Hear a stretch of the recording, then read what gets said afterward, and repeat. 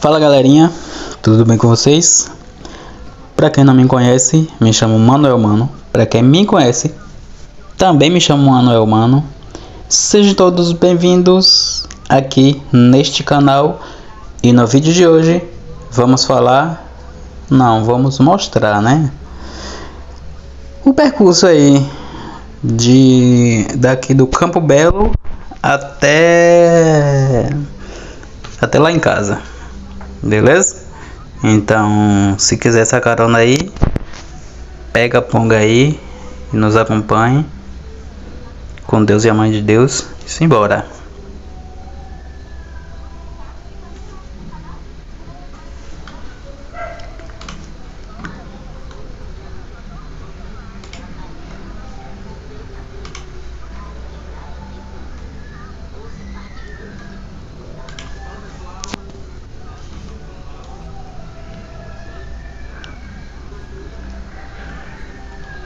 Essa aqui é a antiga limba. Para quem, quem é daqui, né? Provavelmente conhece. Quem não é daqui, mas foi daqui de Amargosa. Aqui era a limba. Né? É onde recebia o leite para para é, é, despachar, né? É, seria um, um, um tipo um centro quem sabe aí mais que eu, só é deixar nos comentários aí, beleza? Porque eu só conheço como a Limba, sempre foi, né? A Limba. Mas aí quando eu comecei a, né? Já já tinha já tava meio que desativada. Até porque eu sou novo, né? Não sou tão velho assim. Quem não é velho, mas quem é experiente aí, pode deixar nos comentários aí, pode falar, explicar melhor aí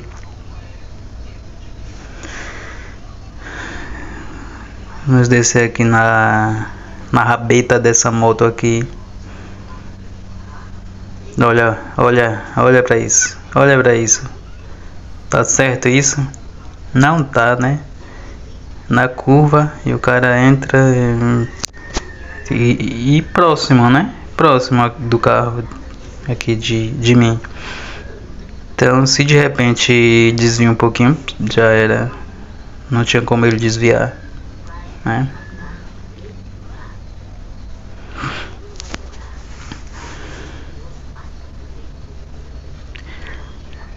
Já deixar a dica aí, né, para os condutores aí, que tem muita gente que, muitos condutores que acham que sabe dirigir, né, mas, né, é, por exemplo, aqui é, eu já posso ultrapassar, só que ele está muito distante, então não tem por que ultrapassar. Aqui eu já não posso, né? Permitido, né?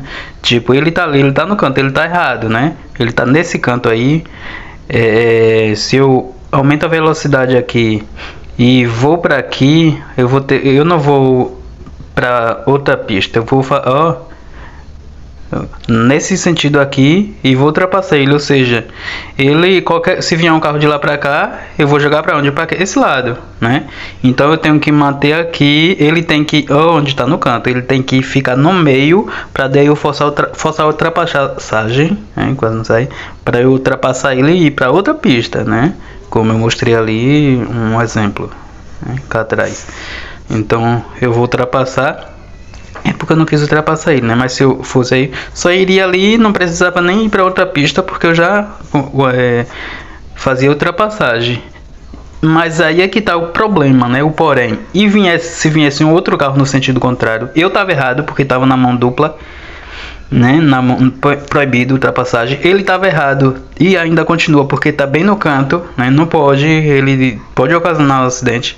Né? Ele tem que ir no meio né? Porque é uma moto que a tem, não tem que ir no meio. Para segurança, temos que ter medo. Ah, não, vou no canto porque é mais seguro. Não, não façam isso. No canto você tá correndo perigo. Você de moto e principalmente moto de baixa cilindrada, é, quando você vai no canto você corre perigo, né? Então, é, é, se for de baixa cilindrada, tipo uma cinquentinha, que não vai desenvolver muito, é melhor você evitar uma pista como essa, né? É, a verdade é essa. Porque se você for no meio e aí vem um carro, o carro tem muitos condutores que não tem essa paciência de ficar esperando, esperando. Né? Então, se você. Mas, é, se você aí vai pra pista, vá no meio da pista. Beleza? Vá no meio da pista, com atenção, mas no meio. Por que no meio? Porque você está ocupando a pista toda, tá no meio ali. Se alguém for ultrapassar, vai ter que ir para pista contrária, né, para fazer ultrapassagem e voltar. Se você ficar no canto, como eu já falei, não vai e quando eu mostrei aqui, não vai precisar ir para o canto, né? É, não vai precisar ir para outra pista para ultrapassar você, vai ficar só no meio ali da faixa, ultrapassa e aí vem outro carro de lá para cá, aí aqui e ele não vai jogar pro pro lado do carro, ele vai jogar pro lado que tem a motocicleta. Logo, né? Quem é menor é a lei da física, né, amigo? Amiga. E a lei da física é o que? O que eu tô querendo dizer? O menor é quem sempre vai sair prejudicado, né? Não adianta eu com um carro desse eu querer trambar com um carro maior, um caminhão, um ônibus. Então, chegando aqui no campo de avião, é, Vamos entrar aqui, ó, tá errado, aí também. É, vamos entrar aqui. E se você ah, tá nesse vídeo aí, não deixou seu like ainda, vai lá, deixa seu like. Se ainda não é inscrito, pelo amor de Deus, se inscreva nesse canal aí, certo? Ajuda demais aqui. Olha pra pista, ó. Duas, uma chuvinha que deu já esburaca tudo, ó. Virou peneira.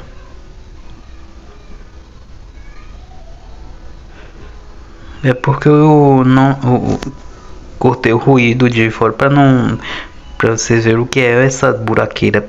Só bate aqui. Pá, pá, pá, pá, pá. Não tem suspensão que aguente aqui, nem amortecedor e entre outras peças, né? Oxe, vai ficar no meio da. Bora, meu filho. Abre isso, né? É, é o que eu falo aqui no, no canal. Já gravei alguns vídeos falando sobre o, o pedestre. O que vai acha que o, o carro tem a obrigação de parar e esperar, né? Esperar, tipo, vai andando e esperar quando, sei lá, quando quiser, quando sair da frente. Velho, não tem condições, não façam isso, né? Porque é, é carro, é automóvel, então não tem condições. Você ir na a pista a pista de rolagem foi feita para carro moto e acostamento é porque aqui a pista é vicinal né? Mas isso acontece no centro. Já trouxe vídeos aqui no centro de Amargosa né? em que é, pedestres deixa de pelo passeio para ir pelo pelo meio da pista, pela pista de rolamento. Aí tem um passeio, aí tem carros estacionados, né? É, na beirada da pista e eles vêm pelo outro lado do carro, né? É. Cuidado, cuidado, eu sempre falo, é por questão de segurança, não é pra, por conta de, da segurança do condutor, não, é do pedestre né? É, o pedestre só tem preferência na faixa, né? E se não tem faixa, lógico que se eu vou passando o pedestre vai cruzar e não tem faixa, lógico que eu vou deixar ele cruzar, né? A fazer cruzar a pista.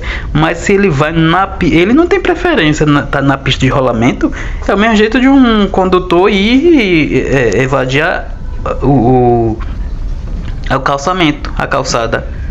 Se ele de a calçada, se estacionando na calçada, ele é, é, é multado. Se, assim como o pedestre, se ele vier para a pista de rolamento, não tá certo, não vai ser multado, lógico, né? Mas ele tá errado. Quem concorda, deixa nos comentários aí de, o que é que você acha Né? Vou trazer um vídeo é, mais para frente falando novamente sobre isso.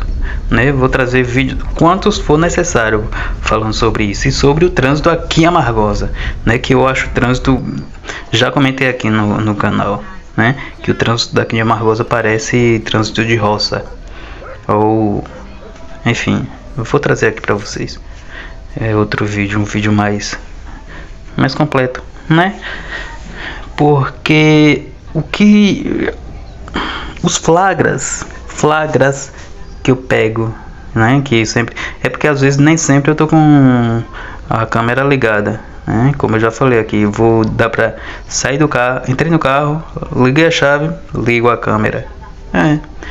É, a última vez aí mesmo que eu vim mostrei aqui no canal, o cara no quebra-mola é, só porque aí um caminhão de baixa velocidade, né, ia para, para passando quebra-mola, ele foi, sendo que não totalmente proibido, ele foi para querer fazer ultrapassagem. Aí vinha, vinha eu, vinha outros carros. Aí eu parei, ele ficou no meio da pista, né? O caminhão passou e ele ficou no meio da pista, né? Como um pateta. Essa é que é a verdade. Né? Então a pressa é inimiga da perfeição. Se você quer chegar cedo. Se você não quer se atrasar para o seu trabalho, para o seu compromisso, saia cedo, né? Quanto tempo é que eu vou durar, vou levar daqui para lá? 30 minutos. Então, se é 8 horas, eu saio 7 no máximo. Por que 7? Porque vai ter o sinal, vai ter outras intercorrências, né? Não vai sair 7 e meia. Ah, pela lógica, né? Não bate né? Eu tenho, meu compromisso é 8 horas, eu vou sair 7 e meia, eu levo 30 minutos até o, o local, aí vou sair 7 e meia, não, pela lógica não vai bater, né? Porque a, o 7 e meia é se fosse direto, mas tem o, né? Sempre tem. Vai pegar um caminhão, né? Em baixa velocidade, vai ter sinal, vai ter tantas outras coisas. Aqui tá, ó, lamaçal, lameiro, lameiro, lameiro. Aqui é o pior lugar que sempre chove, já sabe. Sempre assim. Olha, diluição, não é? Então, é. Se sai, vai, é 8, é 30 minutos, não pode sair 7 e meia. Tem que sair antes, né? Pra, pra não chegar atrasado no compromisso e não precisar sair na carreira aí vai tem todas as outras questões né, por trás. Pode ocasionar um acidente pode atrasar ainda mais. Isso às vezes nem chega né? Porque enfim é, não vale a pena não vale a pena. Saia cedo se programe acorde cedo é, é, enfim, se vai ah, se atrasou, vai chegar atrasado, antes de sair de casa, com, fala, ó, vou sair atrasado, manda mensagem. Também não vai entra no carro e já dirigindo vai pegar o celular para outra, né? Ato que é pode ocasionar, ocasionar acidente. Então pegar o celular para avisar que não, antes de sair de casa, ó, tô, vou me atrasar. Pronto, 5, 10 minutos, 20 pronto. A outra pessoa ou as outras pessoas vão estar cientes já. É até um ato de respeito, porque eu não gosto de. Eu não me atraso, eu não gosto de me atrasar porque eu não gosto de esperar ninguém. Eu acho uma falta de respeito, né, com quem está esperando. Mas hoje em dia é meio que normal, né? As pessoas marcam um compromisso para 8. Quando é 10 para as 8 que começa a se arrumar ainda, velho. Ah, é porque a outra pessoa vai se atrasar. Hum, que dane as outras pessoas, vou. Porque a outra pessoa vai se atrasar, eu vou me atrasar e as duas se atrasam. Aí, enfim, então já marca logo pra. Enfim, não gosto, não gosto, não gosto. Né? É, eu acho que deveria. É, é pra 7, é pra 8, pronto. Por isso que eu sempre pergunto: é, é 8 ou é marca 8 para chegar 9, porque tem muita gente que às vezes quando marca reunião, quando marcava lá mesmo no trabalho, né, que toda segunda tinha, aí ah, eu vou marcar é, 8 para che pra chegar 9. Aí eu sempre falava, não, é 9, se for eu vou chegar aqui 9, se for 8 eu vou chegar 8 e não gosto de esperar. Enfim, então eu era sempre o chato, o chato onildo, né, lá do do trabalho. E, enfim, por isso que eu gosto do. Eu admiro a Suécia, né? entre outros países da Europa, que é. Né? a pontualidade é algo. A Suécia, por exemplo, eu vi um, um, um, um comentário, uma matéria, que o, o ônibus, transporte público, detalhe, transporte público, se atrasa, se atrasou, foi, não foi nem um minuto, acho que 50 e poucos segundos quando chegou, pediu desculpa, tudo mais, explicou o motivo que atrasou. Pronto. Entende? Mas aqui no Brasil é normal, pelo amor de Deus. É, como é que se diz? Normalizou. Isso aí, que pra mim não é normal nunca. Então, chegando aqui na capital do Gramiar, aqui é o colégio onde eu estudei. É o tempo muita gente fala tempo bom, eu não acho tempo bom não. Tinha coisas boas tudo mais, mas eu não sendo sincero e honestamente, não acho a escola tempo bom. As coisas eram, né, tinha coisas boas, assim como tinha coisas ruins também na escola. Eu não gostava de acordar 5 horas para ir para ir para escola, andar 5 quilômetros. Eu não gostava. Né? Mas muita gente gosta. Tinha coisas que eram boas, né? Claro. Por exemplo, a merenda. Então ela, olha só ela, mano. Olha só ela, mano. Ó, deslizando um pouquinho assim, encostar da roda. Roda. Então é isso, gente. Deixa seu like aí no vídeo. Se não é inscrito ainda, se inscreva no canal. Certo? Pessoas, tem um QR Code aí na tela aparecendo. Vá lá, aponte sua câmera, a câmera do seu celular nesse QR Code. E aí você vai ter vários produtos e serviços. Vai ter meu WhatsApp, meu Instagram, o, entre outras coisas, vários cursos aí que dá para você fazer, produtos que para você comprar a minha loja online aí com promoções, certo?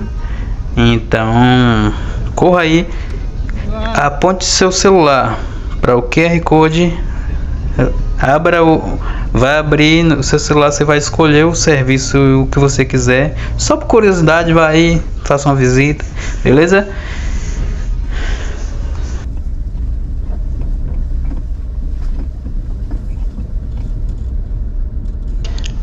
Então esse foi o vídeo de hoje.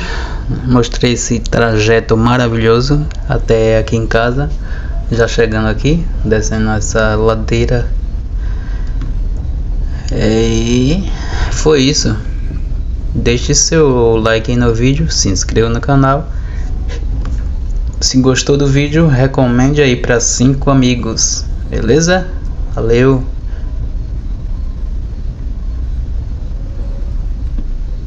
Bora. Oi.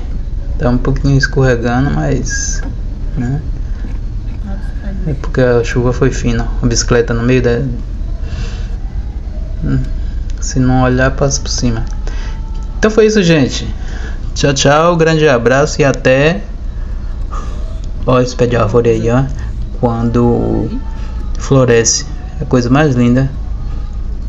Todo amarelo. Amarelo igual IP. Só que não é IP, não. Muito bonito. O ave ainda tá aí. Do São, do São Pedro.